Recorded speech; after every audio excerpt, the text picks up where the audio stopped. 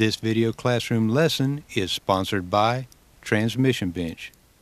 Visit the transmissionbench.com store for the deluxe super kit, other parts, and even the video classroom lessons used during this project.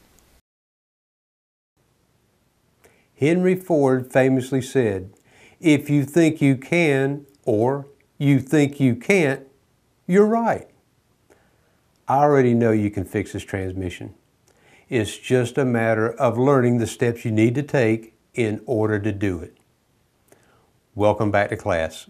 This is Ford E4OD 4R100 class, Lesson 1.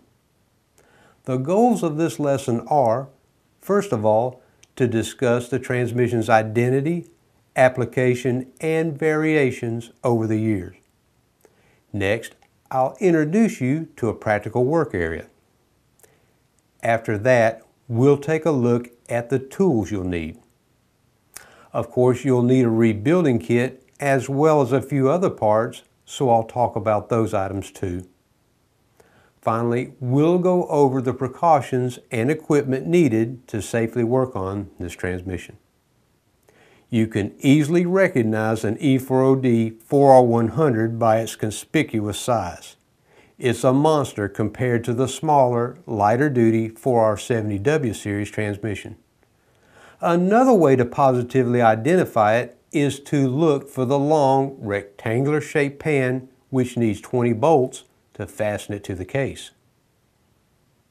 The E4OD was produced from 1989 until 1998. It was used in E-Series vans, F-Series trucks, Broncos, and the Expedition. In 1999, a few internal changes were made and Ford renamed it 4R100. The automaker continued to use it in not only the before mentioned vehicles, but also the new for 2000 Excursion. It was produced until 2005. A few words of caution. This class does not apply to the similar looking 2003 and later 5R110 torque shift transmission model used in this list of vehicles. Even though the pan looks the same, the 5R110 transmission is considerably different internally. Once again, you cannot use the E4OD 4R100 classroom lessons in order to work on a 5R110 torque shift transmission. Moving on, I have a few suggestions about an ideal work area arrangement which will help you work comfortably, orderly, and safely consider copying this layout. I have the transmission for disassembly on one bench. Make sure that it is sturdy enough to handle the weight of this unusually large machine. I use another two and a half by four foot bench for placing parts and subassemblies on as I remove them from the case. I placed white poster board on it in order to make it easier for you to clearly see the parts. I'll also use a homemade wooden stand to support the case in an upright position as I work on the main drivetrain. I'll show you how to easily make it from 2x4s later. In order for you to see how the benches and stand work together, I'll flash forward for a moment so you can see how my work area will look after the transmission has been partially disassembled. This is how my benches will look after the transmission has been taken apart. As you can see, nothing remains in the case which is supported by the stand. Parts and subassemblies have been placed neatly onto the other bench where they can remain organized and undisturbed. The pump, clutch packs, drums, gear sets, and other drivetrain parts have been arranged in a pattern which loosely mimics how they go together. The valve body area components have been placed into the bottom pan. Small boxes are used to separate and organize small parts such as bolts, check balls, and other small pieces. Now let's take a look at the tools we'll need for this project. You don't need a lot of hard to find or expensive tools to work on this transmission. Sure, there are tools specifically designed for working on transmissions, and while they're nice to have, they're not absolutely necessary. Here are the only hand tools you really need. Various screwdrivers, a hammer, even a claw hammer will work fine. One half, three eighths, and quarter inch drive ratchets, extensions, 8, 10, and 13 millimeter 3 8 drive sockets, 13 millimeter and 7 8 half inch drive sockets, a T30 Torx bit socket, half and 7 8 inch open end wrenches, feeler gauge set, common snap ring pliers, and mechanics pick a magnetic pickup tool will come in handy. The most exotic hand tool required is an inch-pounds torque wrench. We will not be using any power tools such as air ratchets or impact guns. A source of compressed air is needed in order to blow dry parts and to perform pressure tests on clutch packs. If access to an air compressor is beyond your means, a simple air tank, adjustable regulator, along with a rubber tip blowgun like this setup will do the job. This is a tool unique to the transmission repair industry. It's called a foot press and it is used to compress return spring cages in the clutch drums in order to remove snap rings. I don't expect you to have access to one, but you will need a similar tool. There are two clutch drums in the E4OD 4R100 which require spring cages to be compressed. I'll show you how it works and then we'll discuss a much less expensive device. For example, I'll place an assembly called the direct clutch drum onto the press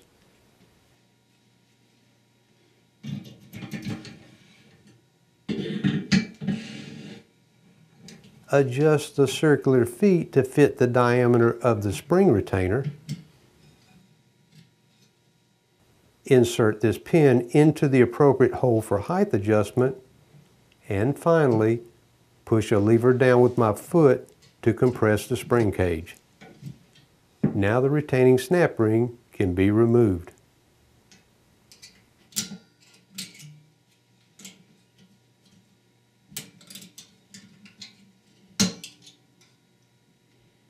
Lifting my foot releases the tension, allowing the return springs to expand.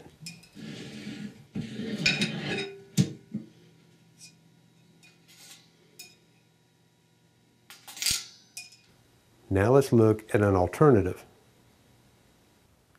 There are various relatively inexpensive tabletop devices which will work fine. This tool, made by KD Tools, is available through many parts stores and online. I used this type of spring compressor for many years. Here's an easy to make tool you will need, not only to remove the front pump from the case, but also for removing and reinstalling the overdrive piston housing too. It's made from pieces of one inch square tubing, threaded rods, and nuts from the hardware store. Like the wooden stand, I'll give you the dimensions and show you how to make it later. You'll need a device like this during reassembly of the pump. It's a band type clamp which is used to align the halves of the pump before you bolt them together. This clamp cost me over $50 25 years ago. You can accomplish the same thing with two 7 inch worm clamps from Lowe's.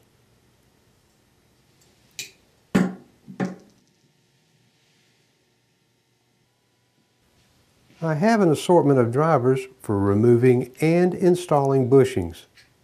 You can accomplish the same with large sockets and extensions or even an old engine valve.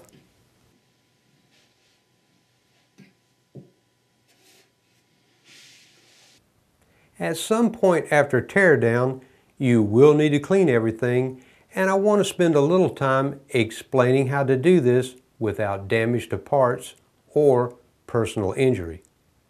My best tip is this. Don't clean anything until the transmission is disassembled. In other words, regardless of how grimy and nasty the transmission is after removal from the vehicle, avoid the temptation to blast it with a pressure washer or to take it to the car wash. High pressure water and detergent can and usually will be injected past the seals of electrical components such as the range selector switch and sensors. Oxidation can be a problem too. Water on the surface of the pump stator support, input shaft, and other bare steel parts will quickly cause rust. All of the internal parts and any electrical components should only be cleaned with a petroleum-based product such as mineral spirits after disassembly. Only the bare, empty aluminum case, extension housing, and galvanized steel pan can be cleaned with water and detergent. I use a small tank like this one with about a half a gallon of mineral spirits, sometimes labeled paint thinner, along with a stiff bristle brush to clean internal and electrical parts. Gasoline, kerosene, paint reducer, and other products such as acetone or alcohol should never be used. They're either too harsh or too flammable. I always wear gloves to protect my hands from chemicals and safety glasses to protect my eyes from splashes. As a side note, I also keep a pad and pen handy for making notes about parts as I inspect and clean them. I mentioned before, the E4OD 4R100 is considerably bigger than the smaller, lighter duty 4R70W. In a similar way, the cost to rebuild it is somewhat higher too.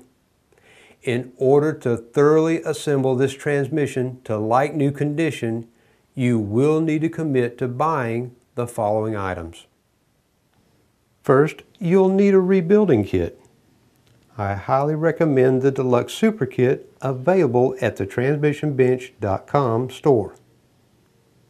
It's a fundamental minimum package of replacement parts, but not necessarily every part you will need in order to overhaul this transmission.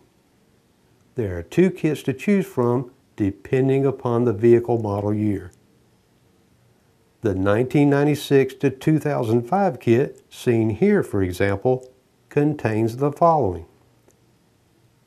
A master overhaul kit, superior shift correction kit, intermediate heavy-duty sprag assembly, a Sonnax brand replacement snap ring for the overdrive piston, as well as pump, sun gear, and extension housing bushings, and two-wheel drive and four-wheel drive type filters. You'll also get a new intermediate band, intermediate servo assembly, and bonded piston set. Let's take a closer look. The master overhaul portion of the Deluxe Super Kit contains all of the O-rings, D-rings, metal clad seals, lip seals, paper gaskets, sealing rings, as well as an assortment of other small parts such as small filters, sealing washers, and even new check balls. Many of the parts are thoughtfully sub-packaged and labeled for easy identification.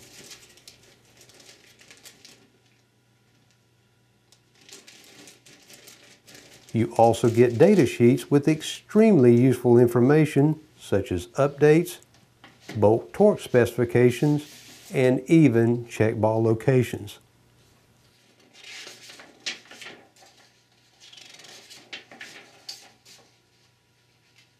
Habla Espanola. The same information is in Spanish on the back of each page.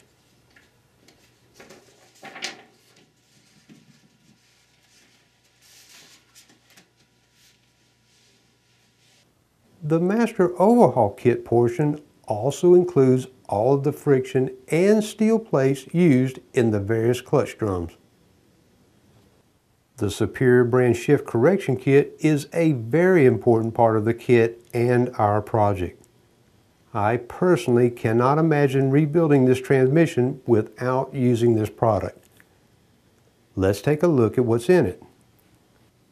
Along with detailed instructions, you get first of all a new booster valve and sleeve assembly for the pressure regulator bore. This is a part known to wear badly and should always be replaced. A new pressure regulator spring is also included. There is an assortment of accumulator springs which you can optionally install for firmer shifts. Especially important is a replacement drain back valve which goes into the stator support of the pump. An assortment of small drill bits is supplied to modify the various passages in the pump. Again, I always install this kit into every E4OD 4R100 I work on and I recommend that you should too. Both two and four-wheel drive type filters are in the kit. It can be confusing to know which one to purchase since even some two-wheel drive versions actually have a deep pan requiring a four-wheel drive type filter. The kit comes with both. A new intermediate band and new intermediate servo assembly are a part of this kit. Finally, in this particular kit, a full set of bonded rubber on steel pistons are included. Four replacement bushings come in this kit. The pump, extension housing, and the two bushings in the sun gear are the ones which you most likely, but not necessarily, may find to be worn. They're in the kit if you need them. The intermediate sprag assembly should never be reused. You get a new one. Finally, the kit includes a unique solution to an old persistent problem in this transmission. You get a Sonnax brand spiral type replacement snap ring for the overdrive clutch piston return spring.